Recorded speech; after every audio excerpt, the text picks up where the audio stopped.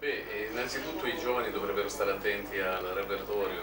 Ci sono delle corde vocali che reggono bene un, un tipo di repertorio, un tipo di canto ed altre che non lo reggono.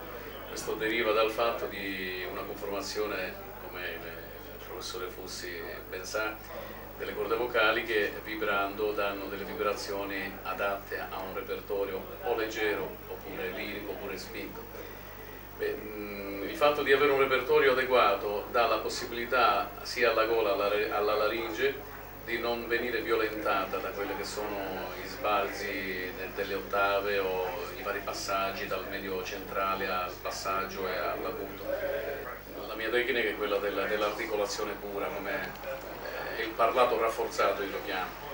Ho sempre avuto una voce chiara proprio perché ho sempre scandito bene tutto quello che ho sempre cantato appoggiandomi moltissimo sulle consonanti e facendo lavorare parecchio le, le vocali.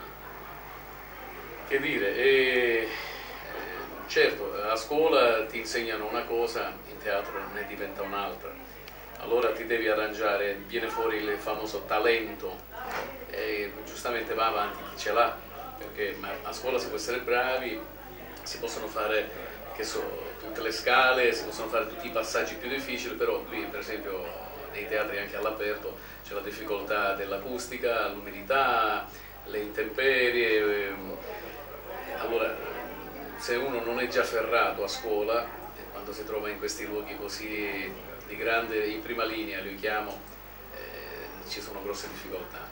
Allora, la scelta giusta del repertorio ti dà la possibilità di lavorare sul, sull'interesse, non sul capitale.